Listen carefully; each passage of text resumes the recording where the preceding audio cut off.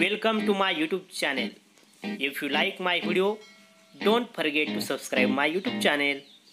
Standard 2 Subject Mathematics. Today we are going to learn Let's identify geometrical shapes.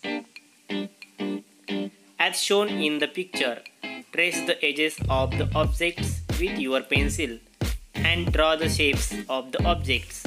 Observe the sides of the objects rectangle.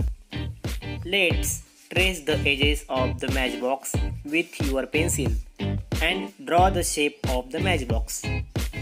This is a rectangle. A rectangle has four sides. Circle. Let's trace the edge of the coin. A circle has only one curved edge and no straight slide. Triangle. Let's trace the edges of the hanger. This is a triangle.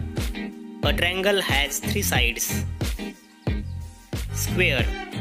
Let's trace the edges of the dice. This is a square. A square has four sides.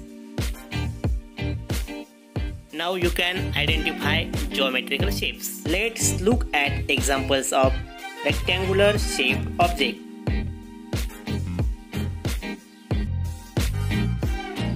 Circular shaped objects. Triangular shaped objects.